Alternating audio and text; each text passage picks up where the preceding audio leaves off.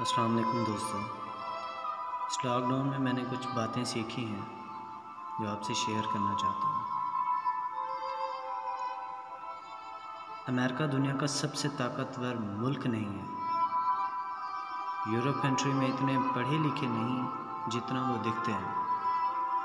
गरीब जितना बीमारी से लड़ सकता है, इतना अमीर नहीं। और ये हकीकत है।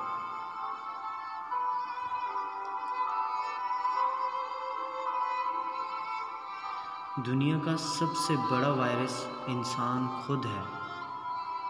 कोई पीर, कोई मौलवी, कोई पुजारी, कोई फ़कीर, कोई पादरी किसी बीमारी को शिफा नहीं दे सकता, सिवाय अल्लाह पाक के।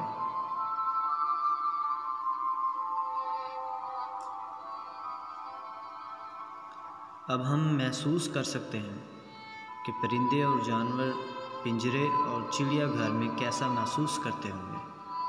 और कश्मीर वाले क्या महसूस कर रहे होंगे? घरों में रहकर भी कारोबार किया जा सकता है। हम फास्ट फ़ूड पिज़्ज़ा बर्गर के बगैर भी ज़िंदा रह सकते हैं। हम गाड़ियों के बगैर भी चल सकते हैं।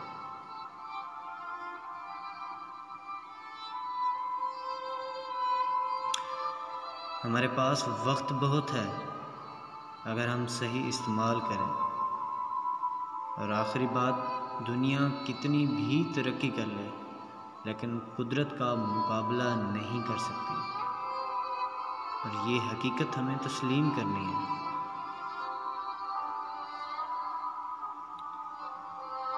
Please like, subscribe and share करें अपने दोस्तों में। फिर मिलेंगे। अल्लाह हाफ़